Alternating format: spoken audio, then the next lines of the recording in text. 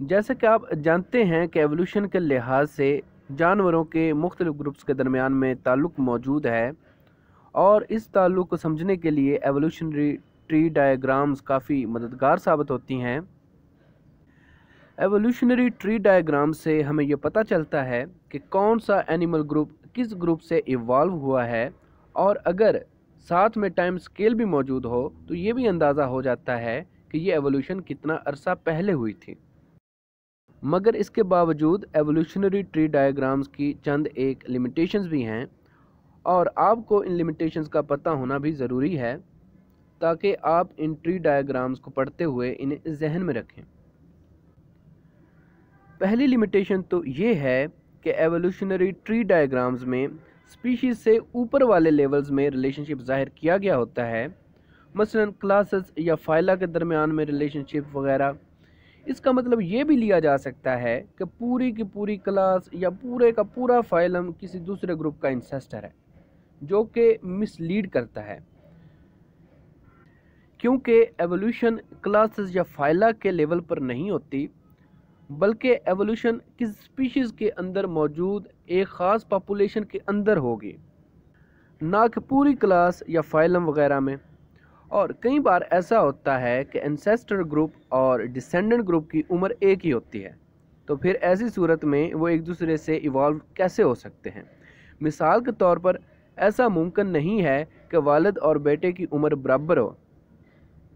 اور آج جتنے بھی اینیملز کے ماڈرن ریپریزنٹیٹیوز موجود ہیں، وہ ٹری ڈائیگرامز کی شاخ کی ٹپس کے اوپر ہونے چاہیے کیونکہ یہ سب گروپس بالکل ریسنٹلی وجود میں آئے ہیں اور ان سب کا کامن انسیسٹر سیم ہے۔ اس لیے زولوجسٹ ماڈرن ریپریزنٹیٹیوز کو صرف ایک اندازے کے طور پر دیکھتے ہیں کہ اصل انسیسٹر کے اندر کون کون سے کریکٹرز ہوں گے۔ مثال کے طور پر اگر یہ کہا جائے کہ تمام یوکریوٹس کا انسیسٹر پروٹسٹا ہے، تو اس کا مطلب یہ نہیں ہے کہ تمام یوکریوٹس پیرامیشیم امیبا یا سپائروجائرا سے ایوالو ہوئے ہیں۔ بلکہ اس کا مطلب یہ ہے کہ تمام یوکریوٹس کے انسیسٹر میں پروٹسٹا والے کریکٹرز موجود تھے۔ اور اسی طرح اگر میملز رپٹائل سے ایوالو ہوئے ہیں، تو اس کا مطلب یہ نہیں ہے کہ میملز سانپ سے یا کچھوے سے ایوالو ہوئے ہیں، بلکہ اس کا مطلب یہ ہے کہ میملز کے انسیسٹر میں ریپٹائلز والے کریکٹرز موجود تھے۔ دوسری لمیٹیشن یہ ہے کہ ایولوشنری ٹری میں یہ محسوس ہوتا ہے کہ ایولوشن ہمیشہ سمپل سے کمپلیکس کی طرف ہوتی ہے۔ مطلب ایولوشن کے نتیجے میں ہمیشہ کمپلیکسٹی میں اضافہ ہوتا ہے۔ مثلا پروٹیسٹا سے اینیمیلیا زیادہ کمپلیکس ہے اور انورٹیبریٹ سے ورٹیبریٹ زیادہ کمپلیکس ہیں۔ یہ بھی ایک مس لیڈ کرنے والی چیز ہے، کیونکہ ہمیشہ ایسا نہیں ہوتا کہ ایولوشن کے نتیجے میں کمپلیکسٹی میں اضافہ ہو، بلکہ کئی بار ایولوشن کے نتیجے میں کمپلیکسٹی میں کمی بھی آتی ہے۔ اور کئی بار ایسا ہوتا ہے کہ ایولوشن کے نتیجے میں ایسے کریکٹرز وجود میں آتے ہیں جو کہ ماحول سے مطابقت نہیں رکھتے، جس کی وجہ سے وہ گروپ ایکسٹنکٹ ہو جاتا ہے۔ تیسری لمیٹیشن جو مس لیڈ کر سکتی ہے، وہ یہ ہے کہ چونکہ ایولوشنری ٹری ایک باریک سٹیم سے مسلسل پھیلتا جاتا ہے، جس سے یہ مطلب لیا جا سکتا ہے کہ ایولوشن ایک کنٹینیوس پروسیس ہے، جبکہ ایسا نہیں ہے۔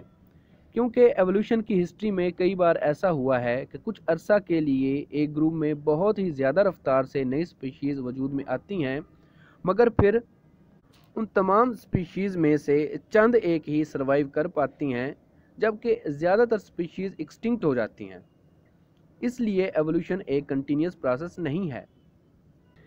اس طرح سے تیزی کے ساتھ ایولوشن کا ہونا اور نئی سپیشیز کا وجود میں آنا لیکن پھر ان میں سے زیادہ تر سپیشیز کا ایکسٹنکٹ ہو جانا کنٹنجنسی بھی کہلاتا ہے۔